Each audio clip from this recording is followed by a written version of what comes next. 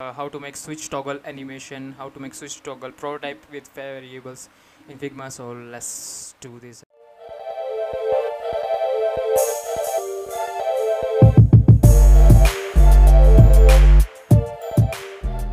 How to make boolean prototype animation with variables in figma. So in this video i will show you everything about that how you can make your switch on and off toggle on and off prototype with variables in figma. Okay, so let's get started with this tutorial and let's dive into the video straightforwardly without wasting any time. So what we have to do first of all we have to you know create a new new component for switch and this element. So let me just gonna uh, copy this uh, copy this switch here.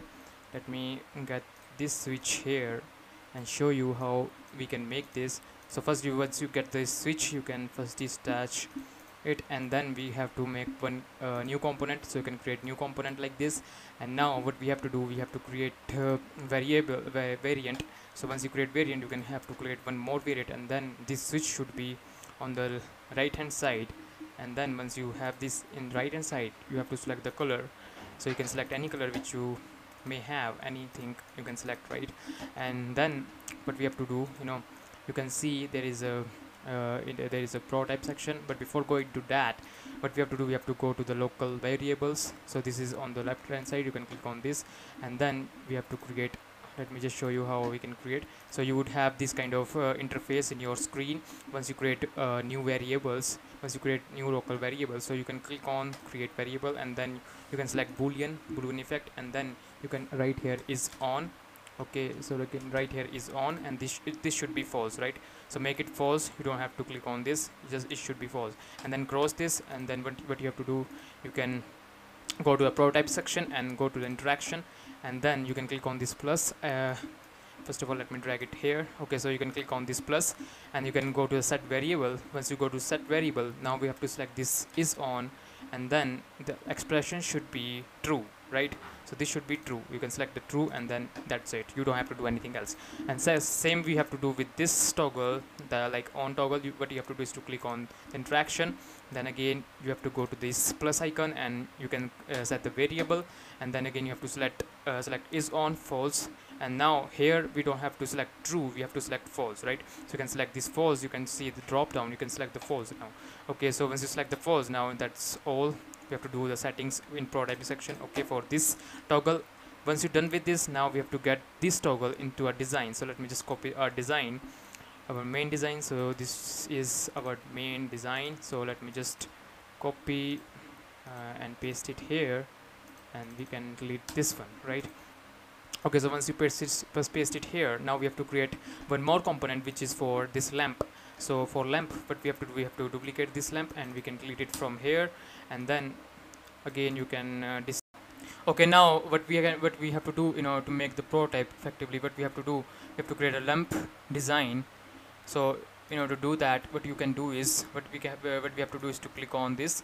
And then uh, we have to get this lamp here. And then what we have to do is to create create a new component for this. Once you click on the new component and you know you have to create one more property. You can create the variant from here. But we would uh, we want to like this we would do in some different method. So the second method in order to make this prototype make this variable prototype. So what the second method is you what uh, we have what we can do here is you have to drag drag all this on here okay and remove your uh, this frame. And then we also have to get this lamp here. So you need to get the lamp you can click on this lamp and or this one you can drag it out. Okay and now you can detach this lamp and you can set your lamp according to your uh, light according to your you know shadow of this light. Okay so once you select this now we have to create one more component for this one. Or before doing that what we have to do we have to get all this stuff this light and this back uh, this one should be inside this frame. So to do that you can drag it inside it and make sure that your stuff should be inside the rectangle right? Inside the frame. So let me just get it inside and then I will show you. Okay now now it is inside this lamp and now you can you know set your shadow accordingly and make sure that it is in the right position. It is on the right position right? Okay so once you have done this now what we have to do we have to click on this and make sure that this is inside and then you can click on component. You can make one more component. And now we have two components ready. First is this one second this one. And now what we have to do here we have to uh, combine this combine as a variant. Okay and you can make your uh, variant bigger you know to make it fit here right? Sorry. And now what we have to do we have to set uh, go to the prototyping section. And now here we have to uh, click on interaction and you can see here what we have to do in interaction. This is the main thing that you have to you know consider and you have to focus. So you can click on this and then you can write here on and off. You can write here on and off. And this one should be false. So you can write here false. And this one should be true. You can write here true. And you can drag this out. And you can see there is a so you can see there is a switch that convert into a boolean uh, toggle right? There is a boolean toggle. And now you can delete this one and you can drag this inside your uh, design. And you can see there is a there is a, vari a variable icon. So you can click on this and you can select this is on uh, toggle right? Once you select this this this is linked to this one right? Linked to this two right? And now you can see there is a I already added this toggle here below this right? And I also set it this all these functions according to this one as I as I have showed you previously right? So you can see there is a set you can see the settings. Let me just show you the settings. So this, this is the settings here. And now once you have done this you can see there is a set variable I've set it the variable as well right?